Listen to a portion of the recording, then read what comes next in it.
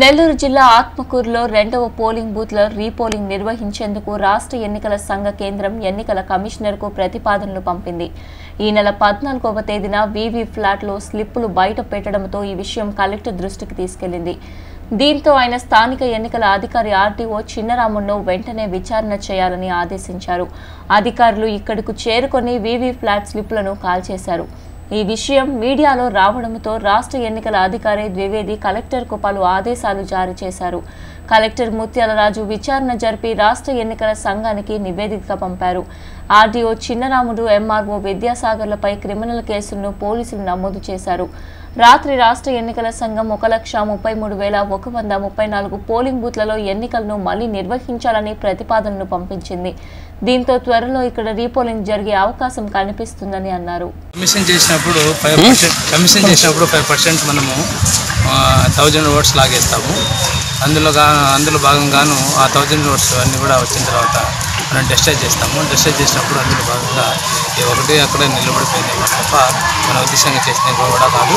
ఇది only commission టైంలో జరిగినదే తప్ప ఒరిజినల్ టైంలో జరిగింది కాదు. ఒరిజినల్ సంబంధించినవి కూడా అన్నీ కూడా ఈవీఎంస్లో భద్రపరిచాము. అన్నీ కూడా చాలా భద్రంగా ఉన్నాయి. ఇది కమిషన్ చేసిన టైంలో కాల్చేటప్పుడు ఒకటి పడిపోయి ఉంటుంది లేదంటే అటు మిగిలిపోయి ఉంటుంది. దాన్ని ఏదో ఉద్దేశంతోనో ఇంకోటి ఇంకోటో జరిగింది తప్ప ఏ కమిషన్ సార్ ఆ యొక్క స్లిప్ ఉద్యాల ఫోన్కి సంబంధించి కాదు. కేవలం మనం కమిషన్ చేసినప్పుడు దొరికినది కాబట్టి ఇటువంటి మనం ఎలాంటి అవకతవకలు లేదు అటువంటి చాలా అన్నీ కూడా చాలా భద్రంగా దాపెట్టడం జరిగింది. వీటి మీద ఎలాంటి అపోహలు కూడా ఏం లేవు. ఇంటర్నెట్ చేయడం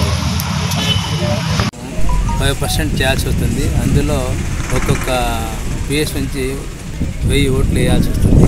అందులో భాగంగా చేయడం జరిగింది. అయిన తర్వాత తదుపరి మనం కాల్చడం జరుగుతుంది. కాల్చే టైంలో ఒకటే తార గాలిలో పోవడం కానీ ఇంకోటి పోయి అది మీడియా వాళ్ళు దొరకడం జరిగింది. కాబట్టి అది కమిషన్ సంబంధించిందే కానీ ఒరిజినల్ ఫోన్కు సంబంధించింది కాదు. ఒరిజినల్ సంబంధించి అన్నీ కూడా మనం చాలా జాగ్రత్తగా పోల్డ్ బీయూసీ వీప్యాట్ అన్ని కూడా స్ట్రాంగ్ స్ట్రాంగ్ రూమ్లో భద్రపరచడం జరిగింది. కాబట్టి ఇటువంటి అపోహలను కూడా అది ఏ దానికి కూడా ఉపయోగపడదు. అది కాలిపోయి అన్నీ కూడా కాల్చేసాము కాబట్టి దయచేసి